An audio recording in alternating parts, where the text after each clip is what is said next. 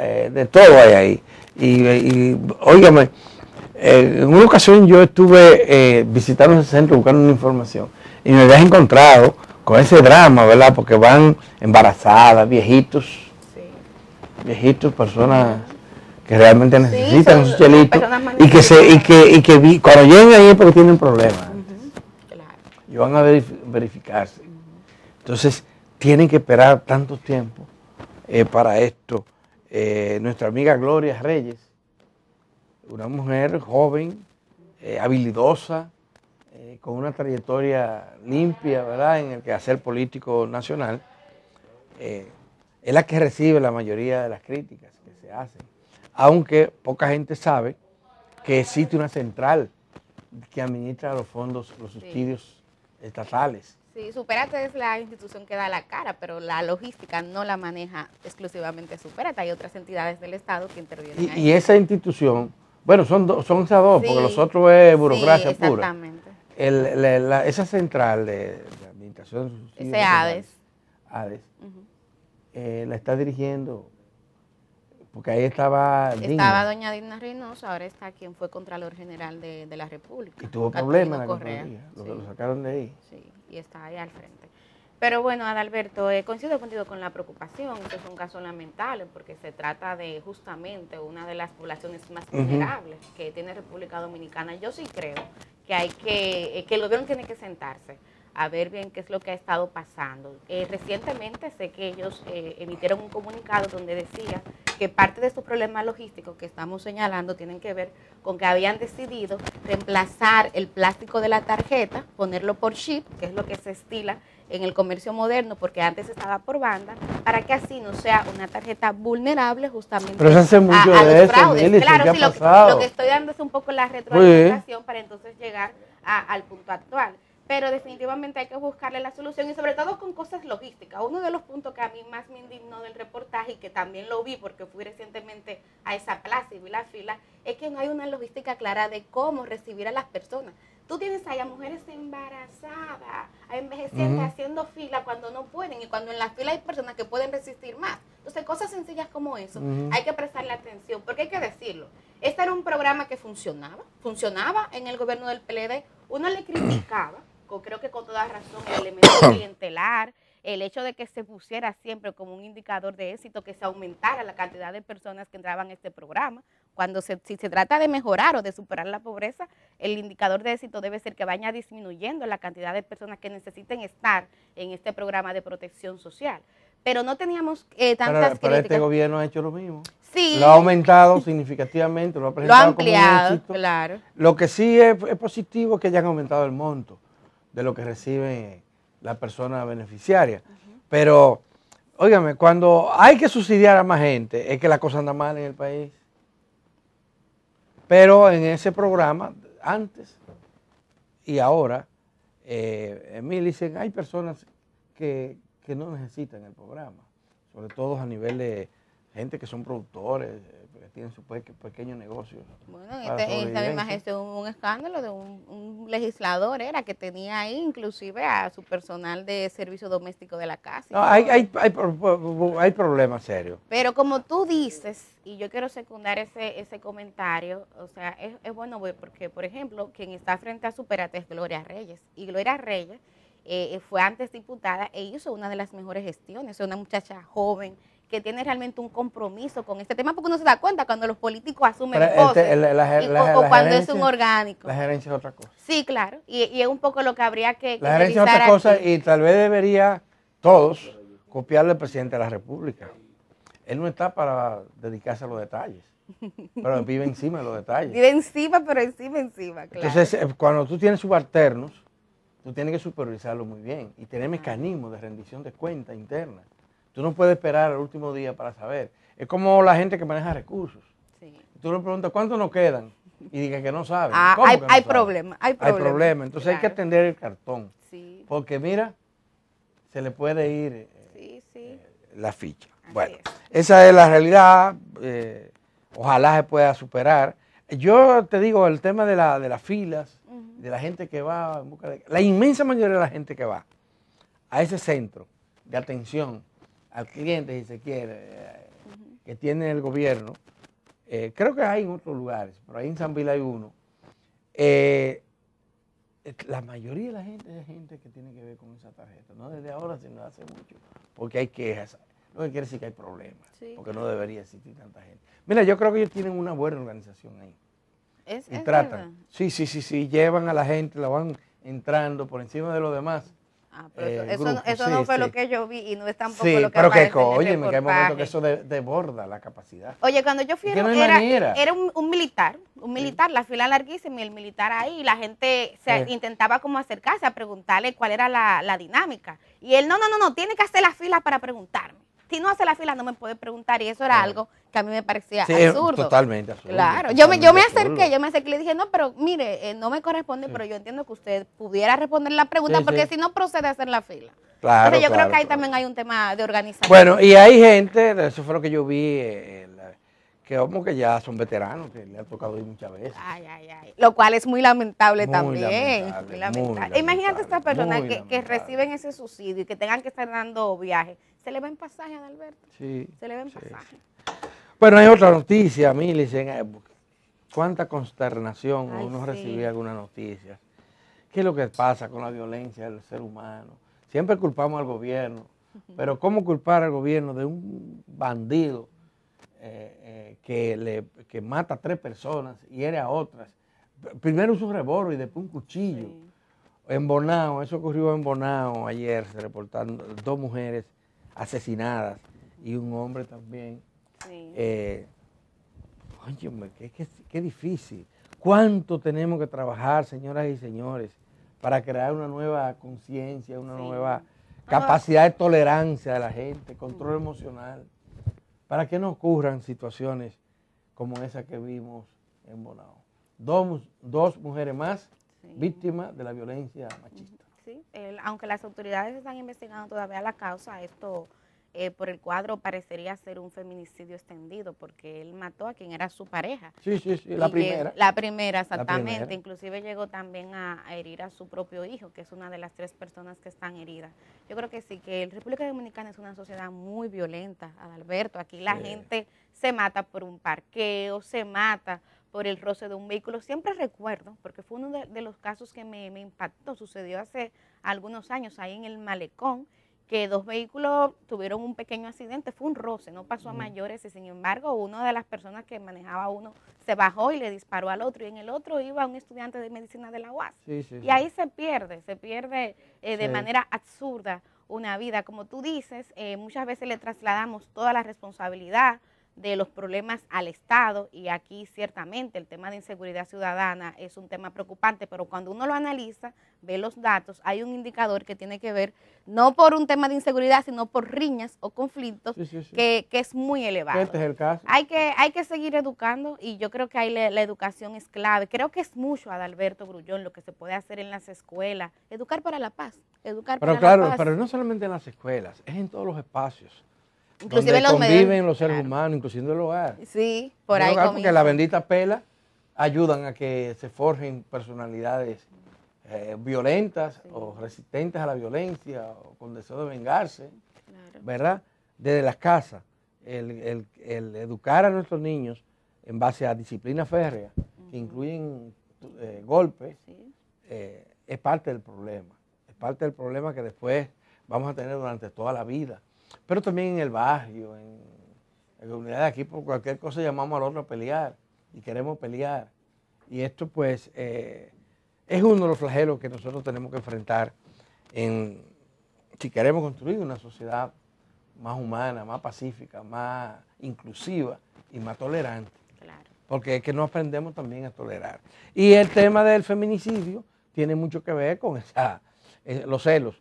Hijos de ese concepto de propiedad que tenemos en las relaciones eh, íntimas, de pareja.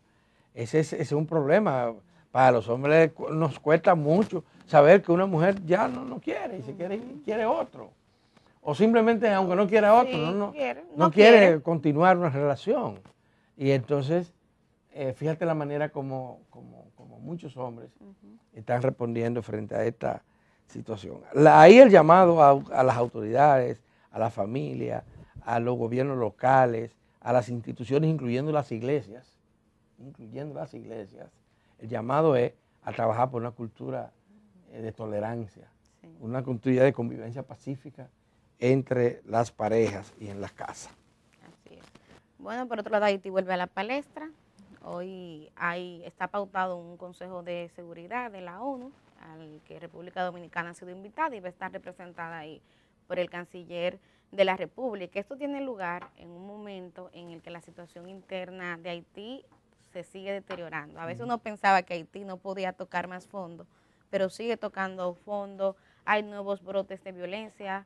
Apenas eh, ayer dábamos la información de que eh, la población eh, acribilló a 14 pandilleros, estaban en manos de la policía y la población casi que se lo quitó le dio golpes y lo incendió en, plena calle. O sea, hay un nuevo brote. También se, ha experimentado un aumento muy significativo en los homicidios, en los secuestros. O sea, la situación de, inseguridad en Haití, la verdad es que está cada vez más eh, peor. Hay que ver, eh, Adalberto, qué pasa en ese Consejo de Seguridad. Yo soy una de las que tengo poca expectativa, porque caramba, cuántas sesiones se han hecho. Y la comunidad internacional, que es como uno suele llamar, pero que en realidad son una, dos o tres eh, países la que están, los que están en condiciones de hacer y los que están en condición de decidir, no terminan de, ponerse de acuerdo. Inicialmente había una posición que había sido, eh, de hecho, abanderada por países como Estados Unidos, que era de hacer una intervención en Haití, una intervención multilateral, pero que lidere una nación. Eso ya no está sobre la mesa, esa posición eh, se retiró pero hay que ver ahora qué va a pasar, porque la situación sigue deteriorando si uno no ve una luz en el camino. Hay que, hay que estar, eh, eh, conocer bien Haití para uno darse cuenta de lo difícil que es buscar una solución. Porque a mí me consta que hay eh, naciones e instituciones que están dispuestas a colaborar, a canalizar unos recursos, inclusive las propias Naciones Unidas tiene parado el desembolso sí, de una serie de dinero que se, ¿A quién se lo dan? ¿Quién es el interlocutor? ¿Quién es el interlocutor? Ese gobierno, mire, de hace seis años no se celebran elecciones en Haití y en el interismo está un presidente. Sí. Entonces se habla, los reportes indican, los reportes periodísticos básicamente, de que la capital Puerto Príncipe está dividida por bandas, ocupada por bandas, que la policía es la que menos poder ejerce y no tiene capacidad para proteger los bienes públicos y mucho menos los bienes de los particulares. Eh, Pero el otro tema es que no hay una fuerza opositora coherente, cohesionada, idónea, confiable, aunque sea pequeña, en la que se pueda eh, a, la que se pueda apostar. Han sido incapaces los haitianos de construir eso. Y una parte importante de los haitianos que podrían contribuir a esto se fueron de Haití. Emigraron, se fueron, emigraron. están aquí, están en Estados Unidos, están en Miami, están esperando que alguien arregle eso para ellos volver. Y así no. Ahí tiene que aparecer un grupo hegemónico que se la juegue, que eche para adelante. Porque dime tú, ¿qué hacer? ¿A quién le dan los cuartos? Porque tú y yo hemos estado apostando aquí por una policía más fuerte. Pero dice que se ha corrompido la bendita policía también, que está infiltrada. Es, difícil, mira, es, un drama de marca mayor. Eso no tiene comparación, eso no tiene comparación, eso uno no sabe. Porque la banda no es una banda. Tampoco ella es tan coherente. Hasta en eso están divididos. son grupos que obedecen a intereses particulares, se ha dicho, se ha demostrado inclusive de empresarios haitianos y de políticos haitianos. Cada político crea su grupo de, choque y su grupo de, autodefensa para defenderse, para protegerse, porque nadie confía en que las instituciones públicas lo puedan hacer. Entonces, una, eso, miren, es tremendo. Si hubiese una ocupación militar, entonces, ¿qué? ¿Habría que dejar un gobierno extranjero para toda la vida? Eso tampoco ha funcionado en el pasado. Pero ahora mucho menos, que hay menos, menos, eh, eh, ¿qué te digo? Conciencia del cuerpo, apego al territorio. Sí, sí, tiene razón. A la cultura. Hay poco apego al territorio haitiano, de parte de los propios haitianos. Y lo que tienen ese apego están divididos en 20, en 30, en 40, en 80 partes, partecitas, que sirven para pocas cosas. Pero entonces, ¿qué se puede hacer en este contexto? Yo no sé, la verdad que no lo sé. Porque que yo, yo tampoco veo una luz en el camino, claro. ¿Qué, ¿Qué, puede uno sugerir? Lo que yo sí sé, lo que no se puede hacer. Sí. Eso sí, lo que no debe hacerse. ¿Qué es lo que se ha hecho antes a fracasar? Si pudiese crearse, y eso es una decisión que depende de los haitianos, no de nosotros, esa fuerza eh, que poco a poco vaya siendo hegemónica, podría ser una solución. Pero eso implica, hablamos de concertación ahorita y de tolerancia. Un esfuerzo enorme de romper con una tradición sectaria que predomina en Haití. Predomina, domina Haití el sectarismo. Ahí hay caciques locales, caciques políticos, eh, eh, pero poca diferencia en términos ideológicos y poco apego a la soberanía, a la nacionalidad, al territorio haitiano. Aquí somos haitianos y nos vamos a defender y vamos a construir un proyecto político, económico y social para eh, superar los problemas, los grandes problemas que tiene Haití. Y esos problemas van, señoras y señores, desde esta violencia, que es terrible porque no hay paz en un país donde en, cualquier espacio a ti te pueden asaltar, te pueden quitar la vida o te pueden secuestrar. No hay, no hay paz. El tema económico. Yo no sé cómo están sobreviviendo los haitianos. Pero la economía se desplomó en ese país. Hay una hambruna, cuatro eh, millones de eh, gente pasando Ellos han pasado hambre. toda la vida, pero como ahora parece que nunca. Ni siquiera en la dictadura de Duvalier. Están en una situación extremadamente difícil. Carecen de instituciones. De las más mínimas. Las más mínimas instituciones. tanto a nivel público como a nivel privado.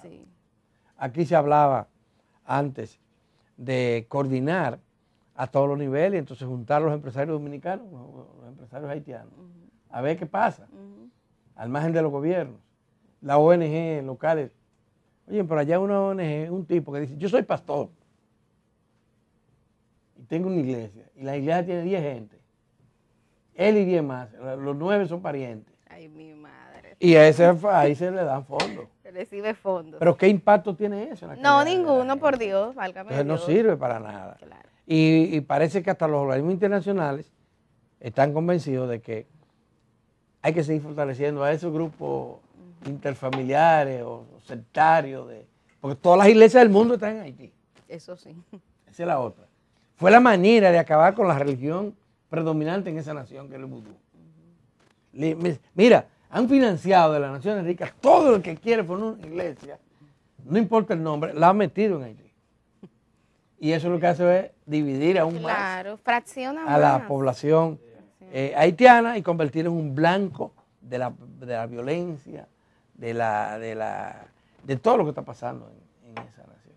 Es, fuerte lo que está pasando. Vamos a la pausa de Alberto Grullón. Antes, miren, solo cinco segundos para mandar un saludo.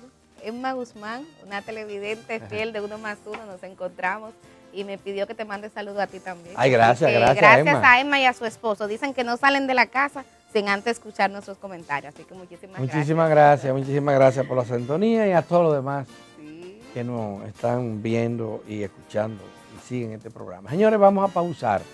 Y cuando regresemos a la entrevista en primer plano, hoy con la participación de Danilo Díaz. Danilo Díaz es un delegado del PLD, yo creo que del PLD, sí, aunque se ve jovencito. Muchacho, pero eh, delegado ante la Junta Central Electoral, experto en asuntos electorales, y durante los gobiernos del PLD ha ocupado distintos cargos. Además es miembro del comité político es del, comité político, llegó al comité político. bueno, eh, venimos a conversar con él desde que termine la pausa.